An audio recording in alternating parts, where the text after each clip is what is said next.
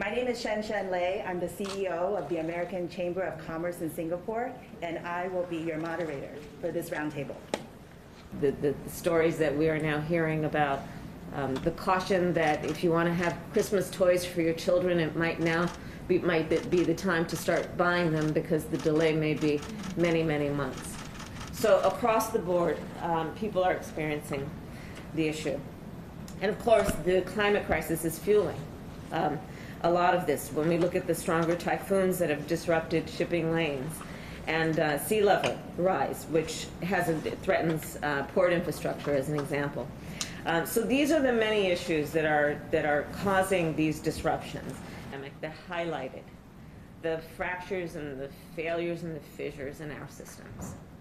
Just the fact that the global demand for the products and goods that are produced in our supply chains is greater in many ways than the supply.